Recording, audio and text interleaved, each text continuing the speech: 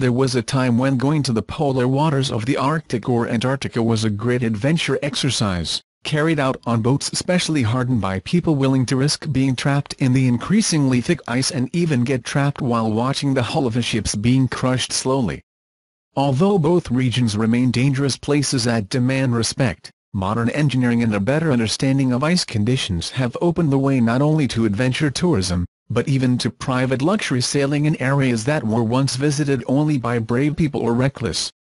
The Ida Pfeiffer yacht developed by Globe Regal Yachting along with Gill Schmid Designs of New York and Dory's Yachts of Bremerhaven, the 1,653-ton luxury diesel-electric cruise, is designed to take 14 guests and 15 crew to the coldest waters of Earth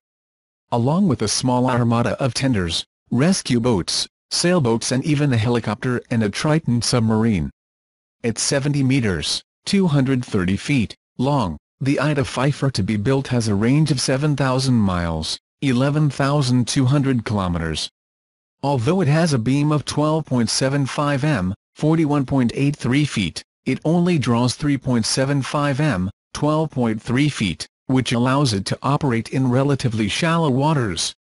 The hull is made of steel with a blunt prow for better handling of the ice, and the aluminum superstructure has a heliport with a telescopic hangar to protect the aircraft in adverse weather conditions.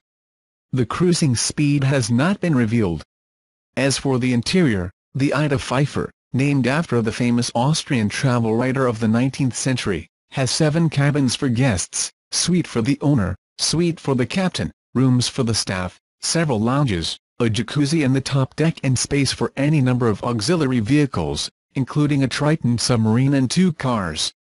To handle all this, there is a side launch garage and a large A-frame crane that dominates the stern.